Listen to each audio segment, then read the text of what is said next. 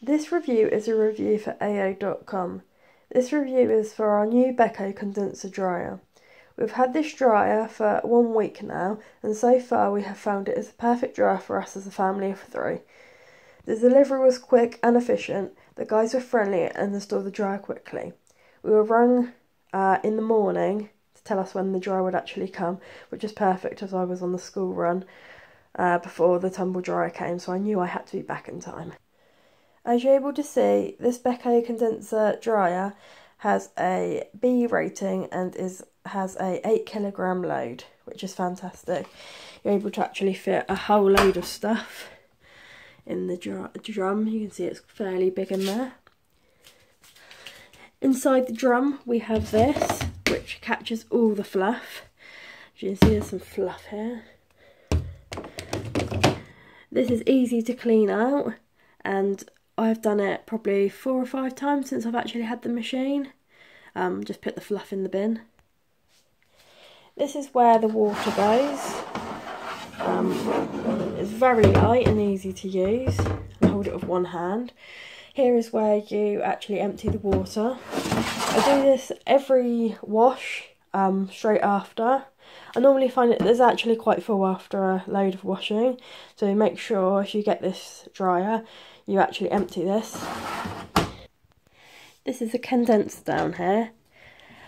I was advised to actually clean this out after 15 to 30 uses and to do this every month to make sure it does not get clogged up. Up here, here's all the fantastic features that this dryer has to offer. Up here we have the time delay, so I can delay it for 3 hours, 6 hours, 9 hours. This is fantastic if I'm out and I want to get something dry for say that evening. Here we have the start pause button and here is all the features that we actually have on this dryer. So we have shirts, jeans, delicates, iron dry, cupboard dry. These are my two favourite settings. I like to normally do iron dry or cupboard dry. That's the synthetics. Or we've got the cottons where you can have extra dry, normal dry or cupboard dry again. Then we've got timers, so if you just want to put your clothes on a timer, we've got 60 minutes, 40 minutes, 20 minutes or 10 minutes. We've also got the express 30 minute um, drying settings and we've got the freshen up. This is if you've got loads of clothes, say upstairs in a cupboard and you just want to freshen them up. And we've also got the on and off button which is over here. Once that's pressed in you get these beautiful LED lights. To me this dryer is not actually loud. I will show you how loud it is if I put it on a cycle. So I press this button.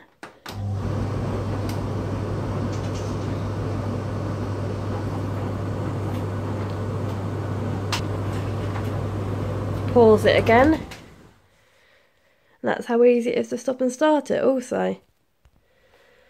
Overall, we think this is a fantastic dryer with plenty of features. This is perfect for any family or couple that are looking to have a new dryer in their home. We currently have this in the kitchen, however we will eventually be moving and we'll be putting this in our garage. Thank you for watching my video.